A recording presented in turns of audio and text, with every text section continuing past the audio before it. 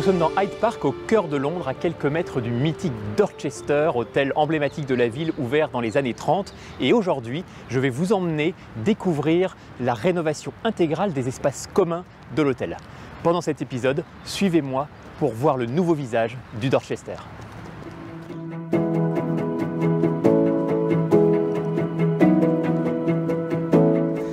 Ivan, How are you? bienvenue. Very good. Thank you. Incredible change. I know, big, It's- big, big changes. So I'm going to give you a little sneak preview to everything that we have been creating this past year. Um, It's another hotel. it's another hotel.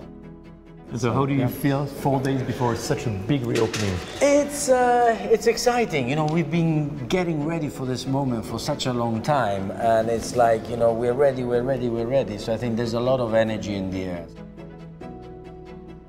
So this was really what we wanted to make sure to be very reflective of the space. Of course, we will keep the feeling established, the sophistication, the elegance that this hotel has stood for so many years, but you will start seeing a bit more vibrancy, it will be a bit more captivating, and a bit more lightness.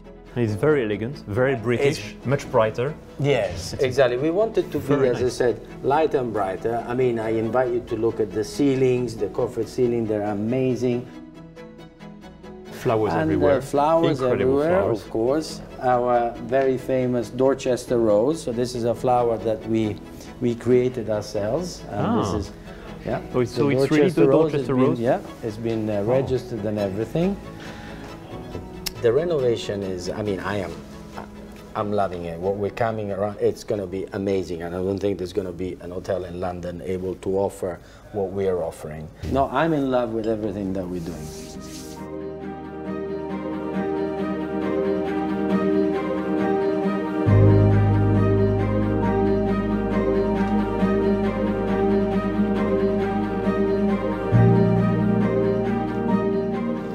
S'active derrière moi. Ce sont les derniers préparatifs avant la réouverture de cet hôtel pour cette magnifique rénovation. On est au cœur de l'hôtel et la restauration est évidemment un élément essentiel de ce qui se passe ici. Et nous allons découvrir tout de suite le chef d'orchestre, celui qui a repréparé tous les concepts. Martine, je vous emmène le découvrir.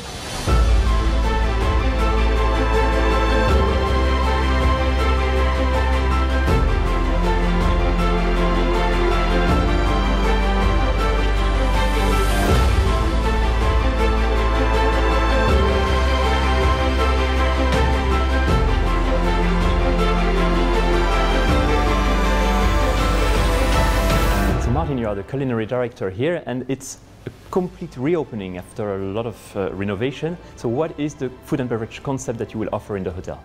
Yeah, I mean, a really exciting time for the Dorchester.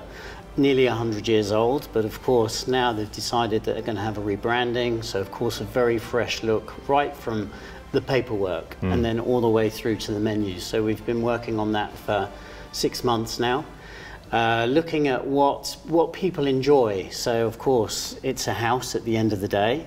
So the food needs to reflect a little comfort style. People need to feel that they can eat as they wish.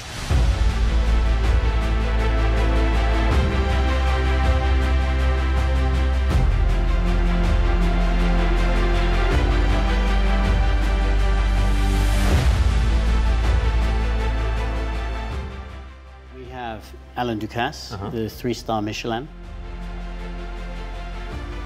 We have China Tang, very classic, been around for a very long time now.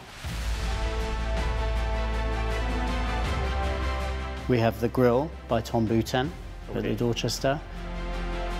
And then the space that we are here now, we're in the artist bar. Um, very cocktail champagne led, but also the food that we have paired with this is very seafood driven. The promenade and then the Vesper bar, it's a brand new design and it's going to look amazing.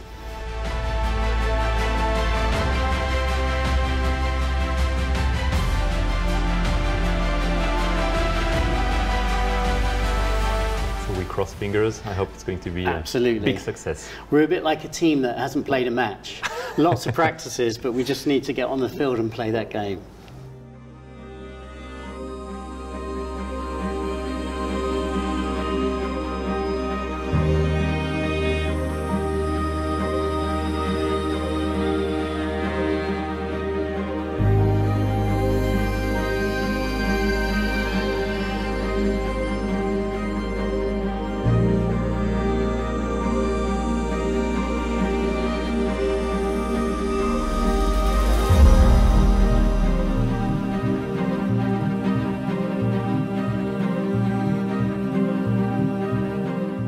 Un afternoon dans ce cadre si élégant, si britannique, c'est un moment absolument exceptionnel. Le Dorchester vient de terminer une rénovation majeure et je suis ravi de vous l'avoir fait vivre dans cet épisode. Si vous avez le moindre commentaire, si vous avez particulièrement aimé telle ou telle partie, n'hésitez pas à nous le dire. À très bientôt sur notre chaîne.